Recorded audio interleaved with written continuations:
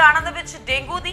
Dengue ਹੁਣ ਕੈਰ ਢਾਉਣ ਲੱਗਾ ਇਸ ਦੇ ਕਹਿਰ ਦੇ ਨਾਲ 10 ਸਾਲਾ ਲੜਕੇ ਦੀ ਲੁਧਿਆਣਾ ਦੇ ਵਿੱਚ ਮੌਤ ਹੋ ਗਈ ਹੈ। ਮ੍ਰਿਤਕ ਆਨੰਦ ਵਿਹਾਰ ਕਲੋਨੀ ਕੋਲ ਸਥਿਤ ਆਜ਼ਾਦ ਨਗਰ ਦਾ ਰਹਿਣ ਵਾਲਾ ਦੱਸਿਆ ਜਾ ਰਿਹਾ ਤੇ ਇਲਾਜ ਦੇ ਲਈ ਡੀਐਮਸੀ ਯਾਨੀ ਕਿ ਦਇਆਨੰਦ ਹਸਪਤਾਲ ਦੇ ਵਿੱਚ ਦਾਖਲ ਸੀ। ਸ਼ਹਿਰ ਦੇ ਪ੍ਰਮੁੱਖ ਹਸਪਤਾਲਾਂ 'ਚ ਅੱਜ 80 ਦੇ ਕਰੀਬ ਮਰੀਜ਼ ਸਾਹਮਣੇ ਆਏ ਨੇ।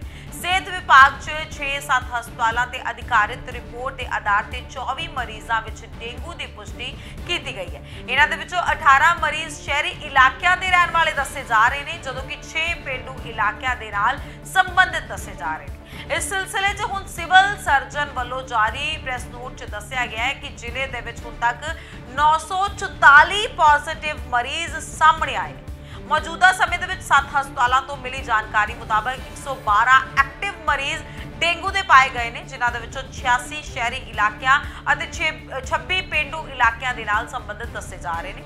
ਇਹਨਾਂ 7 ਹਸਪਤਾਲਾਂ ਦੀ ਰਿਪੋਰਟ ਸੰਬੰਧੀ ਜਾਣਕਾਰੀ ਦਿੰਦੇ ਹੋਏ ਉਹਨਾਂ ਇਹ ਵੀ ਕਿਹਾ ਕਿ ਦਇਆਨੰਦ ਹਸਪਤਾਲ ਦੇ ਵਿੱਚ 80 ਦੀਪ ਹਸਪਤਾਲ ਦੇ ਵਿੱਚ 20 ਜੀਡੀਵੀ ਹਸਪਤਾਲ ਦੇ ਵਿੱਚ 3 ਗਲੋਬਲ ਹਸਪਤਾਲ ਦੇ ਵਿੱਚ 2 ਅਤੇ ਐਸਪੀਐਸ ਹਸਪਤਾਲ ਦੇ ਵਿੱਚ 4 ਤੇ ਸੀਐਮਸੀ ਹਸਪਤਾਲ ਦੇ ਵਿੱਚ 2 ਅਤੇ ਸਿਵਲ ਹਸਪਤਾਲ ਦੇ ਵਿੱਚ ਇੱਕ ਮਰੀਜ਼ ਅੱਜ ਵੀ ਜੇਰੇ ਇਲਾਜ ਹੈ। ਸਿਹਤ ਅਧਿਕਾਰੀਆਂ ਮੁਤਾਬਕ ਜ਼ਿਲ੍ਹੇ ਦੇ ਵਿੱਚ ਡੇਂਗੂ ਦੇ ਨਾਲ ਮਰਨ ਵਾਲਿਆਂ ਦੀ ਗਿਣਤੀ 18 ਹੋ ਗਈ ਹੈ। ਡੇਂਗੂ ਖਤਰਨਾਕ ਬਿਮਾਰੀ ਹੈ।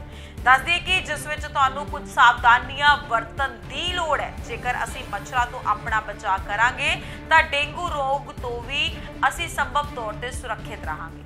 ਡੇਂਗੂ ਤੋਂ ਬਚਾਅ ਹੀ ਸਭ ਤੋਂ ਵੱਡਾ ਹਥਿਆਰ ਹੈ। ਜਾਣਕਾਰੀ ਦਿੰਦੇ ਹੋਏ ਸਹਾਇਕ civil surgeon doctor Vivek Kataria ਨੇ ਸਲੀਮ ਟਾਵਰੀ ਇਲਾਕੇ ਦੇ ਇੱਕ ਡੇਂਗੂ ਪੀੜਤ ਦੇ ਨਾਲ ਮੁਲਾਕਾਤ ਦੌਰਾਨ ਕਈ ਇਹ ਚੀਜ਼ਾਂ ਪ੍ਰਗਟ ਕੀਤੀਆਂ ਨੇ। ਉਹਨੇ ਕਿਹਾ ਕਿ ਡੇਂਗੂ ਦਾ ਮੌਸਮ ਚੱਲ ਰਿਹਾ, ਇਸ ਦੇ ਲਈ ਸਾਨੂੰ ਹੁਣ ਸਾਵਧਾਨ ਰਹਿਣ ਦੀ ਲੋੜ ਹੈ।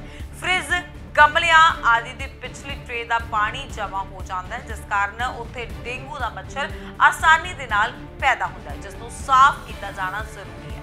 ਡਾਕਟਰ ਕਟਾਰੀਆ ਨੇ ਦੱਸਿਆ ਹੈ ਕਿ ਜਿੱਥੇ 5 ਮਿਲੀਲੀਟਰ ਪਾਣੀ ਜਮ੍ਹਾਂ ਹੋ ਜਾਵੇ, ਉੱਥੇ ਵੀ ਮੱਛਰਾਂ ਦਾ ਪੈਦਾ ਹੋ ਪੈਦਾ ਹੋ ਜਾਣਾ ਆਸਾਨ ਹੈ ਉਹਨਾਂ ਕਿਹਾ ਕਿ ਹਫ਼ਤੇ ਦੇ ਵਿੱਚ ਇੱਕ ਵਾਰ ਆਪਣੇ ਘਰਾਂ ਦੇ ਕੂਲਰ, ਪੰਛੀਆਂ ਦੇ ਪ- ਪਾਣੀ ਦੇ ਭਾਂਡੇ, ਗਮਲਿਆਂ, ਛੱਤਾਂ ਤੇ ਲੱਗੇ ਸਜਾਵਟੀ ਬੂਟਿਆਂ ਦਾ ਪਾਣੀ ਬਦਲਣਾ ਜ਼ਰੂਰੀ ਹੈ ਤੇ ਸੁੱਕਣ ਤੋਂ ਬਾਅਦ ਮੁੜ ਪਾਣੀ ਭਰਨਾ ਚਾਹੀਦਾ ਹੈ।